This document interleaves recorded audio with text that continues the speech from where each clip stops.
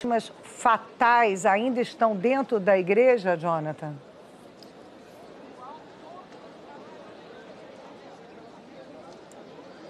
Isso mesmo, Maria. Muito boa tarde para vocês.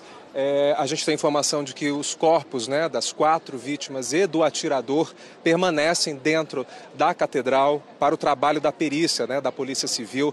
É, desde o momento que isso tudo terminou, a polícia isolou toda essa área com fita. A gente sabe que é, é um trabalho ainda mais complicado quando se tem muita gente. A gente está falando aqui do centro comercial, o maior movimento aqui de Campinas, num horário muito movimentado, a missa do meio-dia. E essa tragédia aconteceu, como vocês já comentaram. Quem estava dentro da, da catedral ouviu, começou a ouvir os disparos, saiu correndo. Quem estava passando ao redor nas ruas ouviu também os barulhos e também houve correria para as lojas, pessoal tentando se proteger nas lojas. A, a informação confirmada até agora é de que seis pessoas morreram. Até agora pouco eram cinco pessoas, mas a gente acabou de confirmar a sexta vítima. Então são cinco pessoas mortas pelo atirador é, e mais o atirador que se matou no final de tudo isso. Então a Guarda Municipal permanece aqui. No momento mais próximo, né, logo em seguida que tudo aconteceu, a praça foi tomada por viaturas do SAMU. Pelo menos ah, a gente pôde observar umas quatro ou cinco viaturas do SAMU aqui na praça, mais uma viatura do Corpo de Bombeiros. Ah, quatro pessoas até então foram Tivemos um probleminha na comunicação com o Jonathan. Se eu ver, deixa eu ver se eu consigo voltar a falar. De qualquer Só maneira. passar. Aí. Essa mulher de. Pode falar, Jonathan. Eu tinha perdido comunicação. Fica à vontade. Pode continuar. Oi, podemos sentar? Tá, uhum. tá valendo a comunicação? Valeu. Vamos lá. Tá certo. Então, as informações que a gente tinha uh, das vítimas, né, mais informações, eram de duas mulheres, uma de 25 anos que foi levada uh, para o Mário Gatti e uma de 40 anos que foi levada para o HC da Unicamp.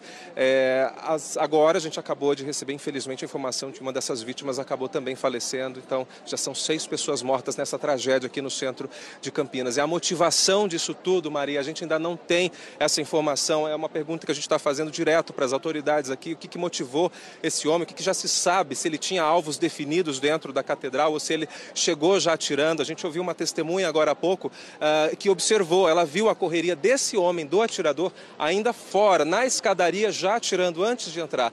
Ele já teria atingido duas pessoas antes de entrar na catedral e teria continuado uh, uh, o tiroteio, os tiros lá dentro. Lógico, essas pessoas que viram essa cena saíram correndo, elas não ficaram para ver o que aconteceu depois. Mas as informações realmente eh, chocam a gente pelo pelo fato de muitas dessas vítimas serem pessoas idosas, né, que estavam é, fazendo suas orações, estavam aí no momento é, de pedir graças, de fazer algum momento de silêncio e de repente acontece tudo isso, Maria, é uma situação é, muito difícil da gente acompanhar aqui, até mesmo desses parentes que estão procurando aí, é, né, os seus entes que estão sem comunicação até agora.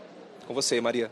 Muito obrigada aí ao Jonathan Morel, direto de Campinas, em frente à Catedral Metropolitana, onde aconteceu aí essa barbárie, né? Um atirador matou quatro pessoas dentro da igreja, uma ferida, é, acabou morrendo depois. Né? Não está o corpo dessa ferida, não está dentro da igreja, mas as quatro pessoas que foram alvejadas e mortas dentro da igreja. Subiu para cinco, Maria. Não, são seis. Quatro não, igreja, não, quatro, quatro dentro da igreja. Olha, é. o atirador atingiu oito pessoas. Exato. Cinco morreram, quatro na igreja e uma mais tarde no hospital. E tem três feridas ainda. E depois ele se suicidou. Exatamente.